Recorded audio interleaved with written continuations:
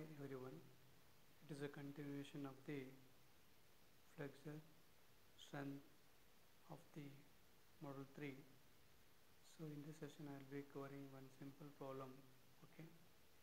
So first one, a pre-stressed concrete beam rectangular in cross section 200 by 500 mm deep is pre-stressed by a tendons having an area of 600 mm square located at 100 mm from the soffit of the beam. So it has been located from the soffit of the beam 100 mm. So this way it is a rectangular of 200 by 500 mm. So the here the wires have been located from the soffit from the bottom so 100 mm. So 100 mm distance you have to take it and replace the wire. Given FCK equal to 14 Newton per mm square and FP equal to 1600 Newton per mm square. Estimate the ultimate flexure strength of the beam for the following cases as per code recommendations. So condition the beam is pre-tensioned. Second one if the beam is post-tensioned with the effective bond. So cross section of the beam 200 by 500 breadth is 200 and depth is 500 then effective depth is 400 so 500 minus of 100 is 400 so area of cable AP they are given is 600 mm square. FCK equal to 40 Newton per mm square. FP equal to 1600 Newton per mm square. So first condition if the beam is pre-tension for pre-tension beam. So from the table number 11 page 59 1343 you have to go for 1343 page number. So from that table you have to calculate the values of what ratio you have to find the ratio that is AP FP BD upon FCK so I will show you the table. Here it is. You see here table number 11 it is. So see here table number 11 table number 11 so AP AP FP BD upon FCK so you have to find so it is here it is pre-tensioned and it is post-tensioned. So then again pre-tension post-tension. So here it is fp upon 0.87 fp and xu upon d. So ap fp bd fck so here next one. So our ratio is ap fp bd upon fck so ap they are given that is 600 fp they are given 1600 but they are given 200 and depth they are given 400 that is effective depth. And FCK they are given 40 Newton per mm square. So if we calculate it will be 0.3 okay. So and FP upon 0.87 FP so first you have to calculate this AP FP BD upon FCK afterwards you have to go for next. So this value comes to about 0.3 so from the table number 11 page 59 1343 you have to search this value. So see here. So see here. This is effective reinforcement ratio. That is value is coming around 0.3 here. So for pre it is pre-tension member. So 0.3 it is 1 okay?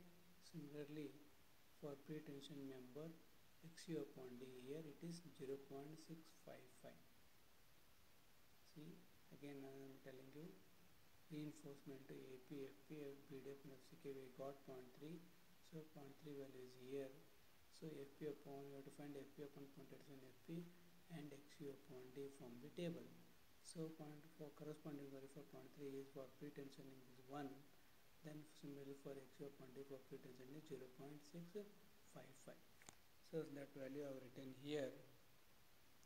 So that is uh, 0.3 so fp upon point addition fp is 1 and therefore fp equal to 1 into 0.87 into fp is 1600 that is 1392 newton per mm square. Similarly xu upon d is 0.655 so see here xu upon d value from the table xu upon d. So this is the reinforcement ratio. 0.3 value is here. So corresponding line 0.655 for xu upon d for p-tension unit 0.655 so that value I have written here. So xu upon d is 0.655 therefore xu is equal to 0.655 into d so x is 0.655 into d. So depth the effective depth is 400 it comes to about 262 mm. Therefore moment of resistance mu equal to fpu ap d minus 0.42 okay from previous der derivations. That is so fpu equal to 1392 here it is. So here 1392 therefore AP is they are given fix it is 600 so here AP is equal to 600 then effective depth 400 0.4 into XU is 2622 it is here value XU 262 so that comes about 242.17 into 10 raised to 6 Newton per mm square. So condition 2 for post tensioned with effective bond. Similarly for table number 11 same you have to find a AP, FP, BD FCK that is equal to 0.3. So PU upon portion FP equal to so see here from the table so reinforcement ratio is here FP upon pointed then is 0.33 so here for post tension with effective bonding. So here here it is. So corresponding value 0.3 is 0.85 for this FP upon pointed then FP equal to 0.85 similarly therefore post tension with effective bond. So it comes to about 0.558 for x value x 0 0.8 equal to 0 0.558 so same line here so that is 0.3 okay for for this 0.3 value to go for this first we searched in the pre-tension FP account contraction FP so we actually upon D then for with effective bond they are again post tension so it is corresponding value for 0.3 is 0.85 for this and similarly for C 0.3 value for 0.558 XU upon D for post tension effective bond. So that value have written here. So see here. So second condition for post tension with effective bond table 11 ratio AP FP upon FCK is 0.3. So FP upon 0.87 FP equal 0.85. So FP equal to so 0.85 into multiply this value 0.85 into 0.87 into 1600. So 1183.2 Newton per mm square. And similarly x upon point is equal to x 0.558 x equal to 0.558 into d. If is 400.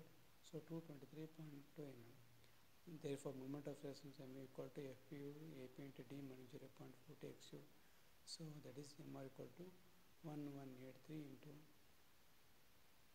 600 into 400 minus 0.42 into 223.2 so that comes to about 217.4 kilonewton per mm square.